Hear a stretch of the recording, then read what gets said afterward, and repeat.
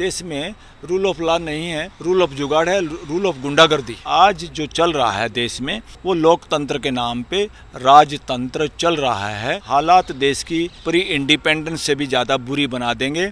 लोगों की बोलने की आज़ादी, शक के आधार पर लोगों को पकड़ना इन्वेस्टिगेशन के बहाने लोगों को जेल में रखना और एक तरह से जुडिशरी को नपुंसक बनाना, डराना, धमकाना ताकि लोगों की जमानत ही ना हो पाए। राजतंत्र, लोकतंत्र के नाम पे एक तरह से खरपतवार की तरह इस देश में जन्म ले चुका है। खरपतवार को नष्ट करना पड़ेगा।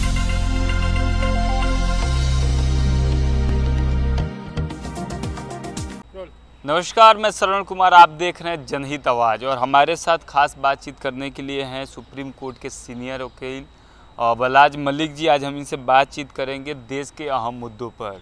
पहले तो मैं इनसे सवाल करूँगा कि देश में जिस तरह से मोदी जी मोदी जी की सरकार चल रही है, उस पर क्या राजतंत्र है या लोकतंत्र? इसी से सिलसिले में सर से जानने की कोशिश करेंगे, क्योंकि सर, न्यायपालिका से संबंध रखते हैं तो न्याय तभी मिलता है जब लोकतंत्र की परिभाषा सही होती है। क्या लग रहा है सर, देश में राजतंत्र व्यवस्था कायम है कि लोकतंत्र व्यवस्था? लोकतंत्र के नाम पे राजतंत्र चल रहा है देश में। लोकतंत्र में सबकी भागीदारी होती है। लोकतंत्र में ट्रांसपेरेंसी होती है, पारदर्शिता होती है। लोकतंत्र में कोई फैसला थोपा नहीं जाता। लोकतंत्र में सबकी सुनी जाती है और सबसे ज़्यादा जो आलोचना और विरोध की भाषा है, उनको पहले सुना जाता है और उसमें से अच्छी बातें ली जाती हैं। सहर स्वीकार किया जाता है विरोध।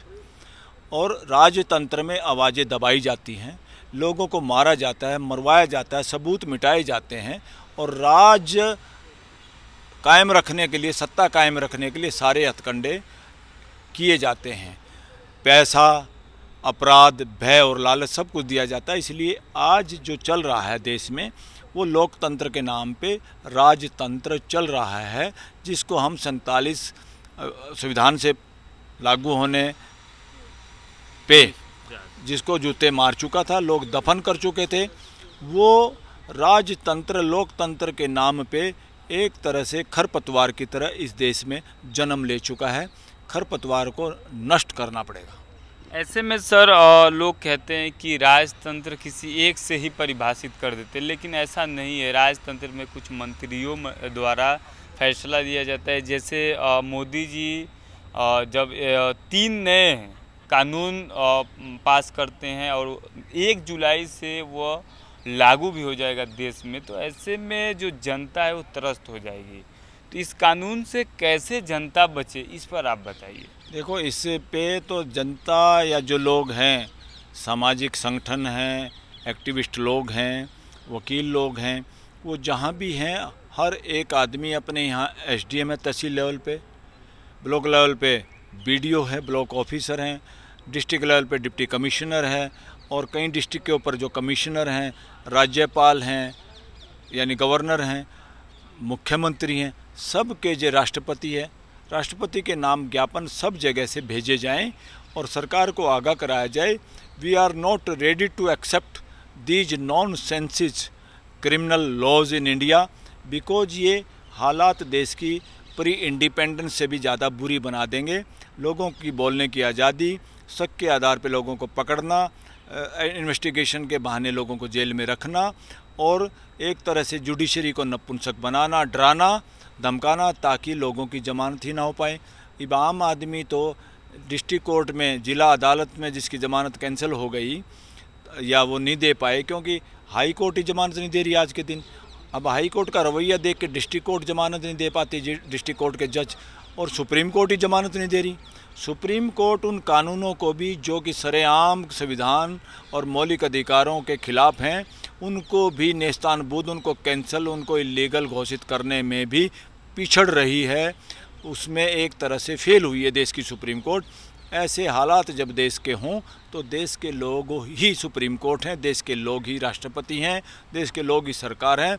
इसलिए स्पष्ट भाषा में आज की सरकार को ये लिख के लेटर देना चाहिए कि we are against these type of nonsensical nonsense bills acts कानून। और क्योंकि ये चोरी चकारी से पास किए गए हैं, लोकतंत्र में फुल डिस्कशन, डिबेट सबकी भागीदारी से कानून पास होते हैं। कानून पास करने के लिए संख्या जब ज़रूर होती है, संख्या का जब महत्व है, जब डिबेट पूरी हो, डिस्कशन पूरा हो, हर पॉइंट पे मंथन हो, सबको समय दिया जाए और एक एक बात हर एमपी की लिखी जाए डिबेट में किसी ने क्या कहा, किसी ने क्या नहीं कहा, तब जाके कानून पास होते हैं। तो हज़ारों, लाखों घंटे देश के वकीलों के लिटिगेंट्स के और कोर्ट के जजों के बर्बाद होने से बच जाते हैं। जल्दी में किए हुए, पास किए हुए कानून, कोर्ट में जाके दोबारा इंटरप्रटेशन होती है। सालों साल तक देश के लोग उलझे रहते हैं मुकदमे में। परिभाषा क्लियर नहीं होती, कानून की भाषा क्या हो, वो क्लियर नहीं होती। इसलिए पूरे देश की बर्बादी है। करोड़ों करोड़ों घंटे की बर्बादी है नए कानूनों को। पुरानी शराब को नई बोतल में और जहरीली बना के डाला गया है। नंबर बदलने की ज़रूरत नहीं थी। देश दोबारा इन नंबरों को याद करने में लगा रहेगा, जज याद करने में लगे रहेंगे, उसी कैलकुलेशन में लगे रहेंगे और देश का बेड़ा गर्क हो जाएगा इस तरह, देश उलझा रहेगा। देश के मुकदमे भाईचारे से निपटाने की ज़रूरत है। न्यायालयों का काम देश में फैसले सुनाना नहीं है। न्यायालयों का काम न्याय की स्थापना है और न्याय की स्थापना जब सुनिश्चित होती है, जब लड़ने वालों में झगड़ा जो कर रही हैं पार्टियाँ, वो आपस में उनकी सहमति साथ में ली जाए, उनको प्यार से, दुलार से समझाया जाए और भाईचारा पुनर्स्थापित किया जाए। देश में अगर भाईचारा कम होता है, फैसले ज़्यादा होते हैं तो रूल ऑफ़ लॉ नहीं कहा जाता। रूल ऑफ़ जंगल कहा जाता है। रूल ऑफ़ लॉ का मतलब है देश में भाईचारा। इसलिए न्यायालयों को भी देखना होगा, हाई कोर्ट, सुप्रीम कोर्ट को पहल करनी होगी कि देश में फैसले नहीं सुनाने हैं। देश के लोगों को, दो भाइयों को, दो पड़ोसियों को, दो समाजों को, दो स्टेटों को आपस में मिलाना है और एक परिवार की तरह वो मिल पाएँ, उनके संबंध रिलेशन पुनर्स्थापित हो पाए यही मकसद है न्यायिक व्यवस्था का। अदरवाइज़ न्यायिक व्यवस्था का कोई मायने नहीं है। क्या लग रहा है कि जो अठारहवीं लोकसभा का जो कामकाज है वो शुरू हो चुका है? 24 हम्म। तारीख से लोकसभा सत्र भी स्टार्ट होने वाले हैं। 24 और 25 को जितने भी सांसद हैं उनको शपथ ग्रहण कराया जाएगा। और 26 तारीख को स्पीकर पद की चुनाव होगा। ऐसे में जब चुनाव हो जाएगा तो ये मुद्दा संसद भवन तक फिर एक बार चर्चे में आएगा? जी, बिल्कुल चर्चा में आएगा। और मुझे तो लगता है पूरा हॉट मामला है देश का। और अब उम्मीद भी है, जो लगता है, देश के में जो अंडर करंट है इन कानूनों के खिलाफ, ये सामने आएगा।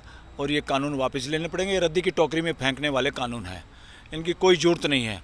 दोबारा इनको पास भी नहीं करना। इन पर डिस्कशन डिबेट नहीं करना। जो कुछ डिस्कशन डिबेट करनी है, वो जो पुराने कानून हैं, उनमें हिंदी का नाम भी शामिल किया जा सकता है और उन्हीं में नई सेक्शन डाली जा सकती हैं। उन्हीं में प्रोसीजर में चेंजेज किए जा सकते हैं, जो देश की ज़रूरत है। और सिर्फ़ ज़रूरत उस बात की, जहाँ पे लोग, पुलिस स्टेट ना बन पाए, पुलिस को अननेसेसरी पावर नहीं दी जाए। मैं पुलिस को गलत नहीं बता रहा यहाँ पे।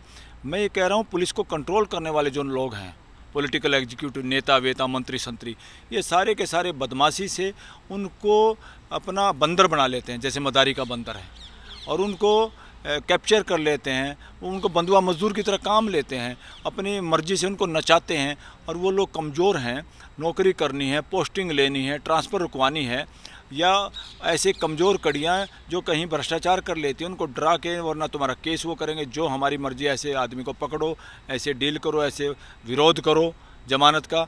तो ये सारा खेल देश में चल रहा है। क्या लग रहा है सर कि जिस तरह से ये तीनों जो कानून है नए कानून इसके लिए सिर्फ़ जनता को रोड पर आना चाहिए ज्ञापन देना चाहिए डीएम एसडीएम को कि जो जनता के द्वारा प्रतिनिधि चुनकर संसद भवन में आता है उनको भी इस पर चर्चा करना यस यस उन्हीं को करनी चाहिए पहले तो।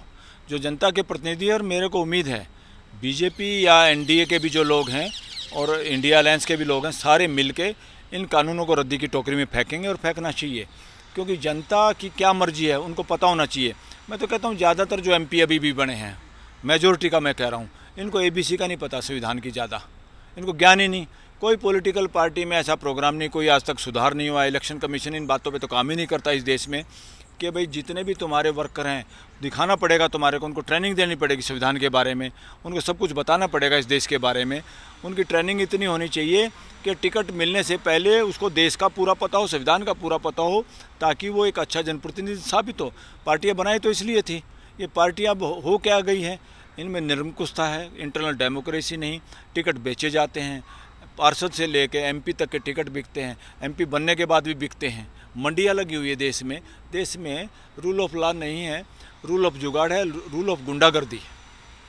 पैसे का खेला बेला हो गया इनको ज्ञान का कोई वो नहीं है। इसीलिए अ, न्यायिक चरित्र नहीं होने के कारण न्याय व्यवस्था नहीं हो पा रही है। तो इस समय हमारे साथ अ, सुप्रीम कोर्ट के अ, सीनियर एडवोकेट बलाज मलिक जी हम मुद्दों पर इन्होंने प्रकाश डाली। तो इस पूरे बातचीत पर आपकी क्या राय है मैं कमेंट बॉक्स में ज़रूर बताएँ। शुक्रिया।